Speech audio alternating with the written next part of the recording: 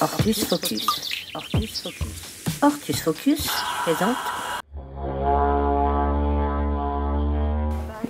Donc je vais vous présenter trois eucalyptus qui résistent en moyenne à moins 12, moins 15 degrés pour certains d'entre eux, avec des feuillages différents, euh, des hauteurs différentes également.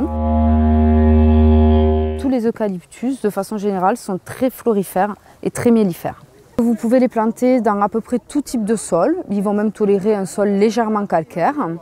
À la plantation, il y a deux ou trois petites règles à respecter, c'est-à-dire le planter au moins à 3-4 mètres des fondations d'une maison.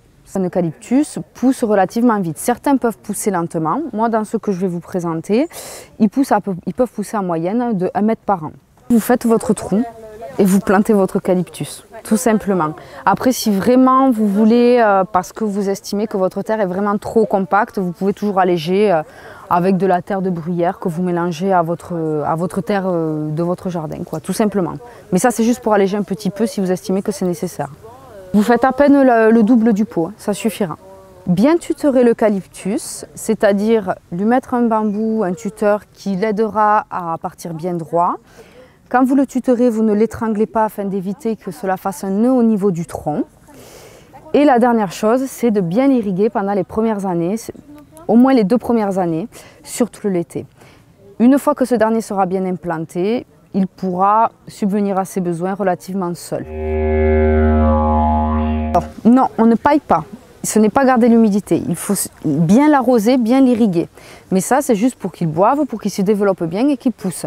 On ne paille pas. Pailler sur un jeune tronc euh, au niveau des eucalyptus quand ils sont jeunes, cela peut favoriser l'apparition de champignons. Voilà. Donc vous le laissez à l'air libre, tout simplement. Ils n'ont pas vraiment de nuisibles recensés en France. Il peut y avoir quelques petites, euh, petits insectes qui font des, petits moucherons, des choses comme ça, mais ce n'est rien de méchant. Vraiment il n'est pas trop sensible. Hormis si vous le paillez, euh, voilà, il risque d'attraper un champignon racine.